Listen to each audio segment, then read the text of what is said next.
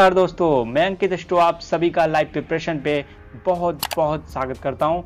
और आयु का निर्धारण किस प्रकार करते हैं, अपनी हस्त रेखा को देखकर। दोस्तों how to calculate over age उससे पहले दोस्तों एक इंपॉर्टेंट बात, मैंने कई लोगों को देखा कि लोग बाहर जा रहे हैं इधर उधर घूम रहे हैं थोड़ा बहुत तो ये बहुत गलत बात है, क्योंकि लॉकडाउन का समय है, दूसरों को भी सुरक्षित रखिए खुद भी सुरक्षित रहिए। दोस्तों चलिए आज के टॉपिक पे आते हैं। हस्तरेखा में आयु का निर्धारण किस प्रकार करते हैं अपनी एज का कैसे निकालते हैं। दोस्तों इसके विषय में समुद्र शास्त्र में काफ़ी कुछ वर्णित किया गया है उसकी गणना की गई है। उनमें से ही एक तरीका हम लोग लेंगे जिसके माध्यम से आप शत प्रतिशत अपना आयु जान सकते हैं। दोस्तों आयु स्केल होती है पैमाना होता है आपका। इसमें 10, 20, 30, 40, 50 ऐसे आपकी आयु बढ़ती है। और इसके विषय में बहुत सारी कन्फ्यूज़न है कि अगर किसी की छोटी रेखा हो, मान लीजिए यहाँ तक आई हो तो क्या उसकी आयु कम होगी? और जिसकी बड़ी रेखा हो या कई सारी रेखाएँ उसको काट रही हूँ, क्या उसकी आयु कम होगी? ये सब भ्रांतियाँ हैं दोस्तों। मैं काफ़ी लोगों की हाथ देख चुका हूँ पाम देख चुका हूँ। मेरी स्पेस में कभी भी ऐसा नहीं देखा, मैंने देखा। जिनकी छोटी लाइन है, उनकी भी मैंने 65 एज तक देखी है, उससे ज़्यादा भी एज देखी है। तो इससे मैटर नहीं करता, अगर ये लाइन छोटी है तो आप एज कम होगी। वो उतनी ही एज में ये सारा स्केल कंसीडर कर दी जाएगी। अब इसमें देखना क्या होता है, समुद्र शास्त्र के अकॉर्डिंग, अगर हमारी जो लाइन है, और एक और भ्रांति है कि इसको अगर कई सारे लाइनें से काटती हैं तो जीवन में स्ट्रगल होता है जिन्हें राहु लाइंस कहते हैं, राहु की रेखाएँ कहते हैं, लेकिन प्रॉब्लम होने के बाद भी जीवन उनका पूर्ण हो सकता है। तो ये आपका जो हिस्सा होता है यहाँ पे हथेली के बीच में ये होता है केतु का हिस्सा। केतु को आ, हमारे ज्योतिष शास्त्र में मोक्ष प्रदाता माना गया है। तो हम लोगों की जो आ, जीवन होता है वो मोक्ष की तरफ़ धीरे धीरे बढ़ता है। इस जीवन से मुक्ति केतु को अध्यात्म का कारक माना गया है। केतु को उन चीज़ों का कारक बना माना गया है जो फ़िज़िकल चीज़ों से अलग हैं। तो हमारी जीवन रेखा उसी तरफ़ बढ़ती है। तो हम निर्धारण कैसे करें अपनी आयु का?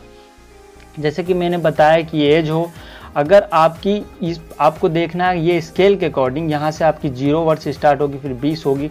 अगर यहाँ पे गैपिंग है डैट मीन्स कि यहाँ तक गैपिंग आए उसके बाद यहाँ पे गैपिंग है, तब ये जो साइन होता है, वो बहुत ही ज़्यादा अशुभ होता है।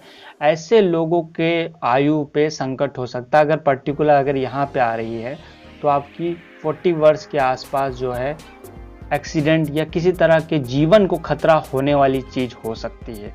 तो इस चीज़ में आपको काफ़ी ध्यान रखना है। तो ये इंपॉर्टेंट है कि उसी कन शर्त पे आपको देखना होगा जीवन को खतरा। उसके साथ ही आपको क्या देखना है? आपको ये मणिबंध देखना है। ऐसे ऐसे करके यहाँ पे मणिबंध बने होते हैं। आप देखेंगे तो ऐसे किसी, कभी इधर आएँगे, थोड़े फिर हल्के हो जाते हैं। इस तरह के मणिबंध होते हैं। जो सबसे पहला वाला मणिबंध आपका है, वो आयु को दिखाता है। दूसरा वाला जो मणिबंध है, जो दूसरा लाइन है, जैसे कि आपके यहाँ जो मणिबंध ऐसे करके बने होंगे, वहाँ जो दूसरा मणिबंध होगा, वो धन को दिखाता है। आपके पास धन की मात्रा कितनी होगी? तो तीसरा मणिबंध आपका है, वो सुख को दिखाता है। सुख हैप्पीनेस को दिखाता है। तो तीसरा जो ऐसे मणिबंध है, कुछ लोगों में ये नहीं होता है। तो ऐसा नहीं कि अगर ये मणिबंध नहीं है तो वो चीज़ मिलेगी नहीं।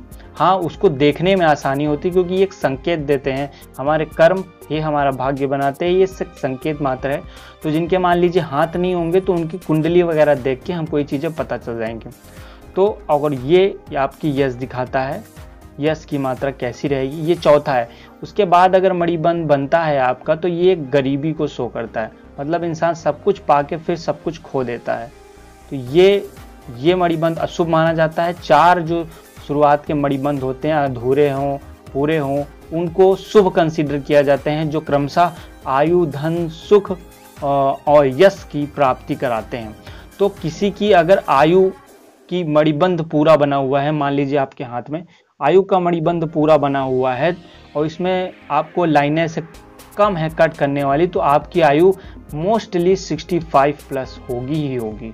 तो यहाँ से कंफर्म हो जाता है इसके अगर दोनों चीज़ें वीक आ रही है, ये दोनों शर्त है तो शत प्रतिशत आपकी जो आयु होगी, वो थर्टी फाइव प्लस ही हो पाएगी या थर्टी फाइव ही हो पाएगी। अगर ये बीच में गैपिंग है, दो लाइनें ओवरलैप हो रही हैं, या यहाँ पे किसी प्रकार का आइलैंड बनना है, उसके स्थिति में आपको जीवन का खतरा होता है। इसके अतिरिक्त आपको एक और चीज़ देखनी है, वो है आपका गुरु पर्वत। गुरु पर्वत आयु का एक तरीके से जीवन का स्वामी होता है। बहुत सारी चीज़ें हमको प्रदान कराता है। बहुत ही इंपॉर्टेंट पर्वत है। साथ ही हमको देखना है आपकी हृदय रेखा। हृदय रेखा, जैसे मैंने बताया था, ये व्यक्ति के सोल को दिखाती है। मतलब आप कहाँ से आए हैं? आपकी चेतना का स्तर क्या है? तो आप कुछ व्यक्तियों में चेतना का स्तर अगर ज़्यादा है, एक दृढ़ इच्छा शक्ति से मतलब सूर्य। सूर्य जैसे सोल आत्मा किसको दिखाती है? आत्मा दिखाती है, आपकी इच्छा शक्ति कितनी है? आप जीने की इच्छा रखते हैं कि नहीं? मान लीजिए आपकी ये कमज़ोर ये कमज़ोर है तो अगर आप जीने की इच्छा बहुत बली है तो आप अधिकतर आयु जी सकते हैं। आप कोई बीमारी भी हो जाती है तो आप अपने आप से लड़ के, उस बीमारी से लड़ के उबर आते जैसे आजकल कोरोना फैला हुआ है तो बहुत सारे लोग इससे बच जा रहे हैं इनकी इम्यूनिटी चीज़ के लिए। बहुत सारी चीज़ें आपकी अच्छी होनी चाहिए। आयु, अच्छे मणिबंध आपको देखना है। यहाँ पर जो मणिबंध होते हैं देन उसकी आपको लाइफ लाइन देखनी है देन आपको आपकी हृदय रेखा, इन तीन रेखाओं को देख कर पूर्ण तरीके से व्यक्ति की आयु का निर्धारण किया जा सकता है। अगर यहाँ पे टूटी होगी, यहाँ पे टूटी होगी, उस तरह से व्यक्ति की आयु में प्रॉब्लम होगी। अगर मोस्टली यहाँ पे दो पार्ट्स में डिवाइड हो जा रही है तो ये बहुत ही शुभ साइन माना जाता है अच्छा साइन होता है। और अगर यहाँ पे आपकी डबल लाइन हो जाती है दैट मीन्स कि अगर ये जीवन रेखा उसके बगल में एक सिस्टर लाइन आ जाती है यह होती है गार्जियन लाइन यह आपके जीवन की रक्षा करती है। शत्रुओं द्वारा घिरा होने पर भी ऐसे व्यक्ति को मारा नहीं जा सकता। बहुत ही ज़्यादा लाइफ सेविंग होती है अगर आपकी ये यहाँ पे टूटी हुई है। आपकी मंगल रेखा मौजूद है तो आपकी जीवन की रक्षा करेगी। ये कहा क्वाक एंड शॉर्ट वीडियो आगे किसी और वीडियो में किसी और टॉपिक के साथ हम लोग मिलेंगे। तब तक अपना ख्याल रखिए। बी सेफ़ स्टे होम नमस्कार दोस्तों।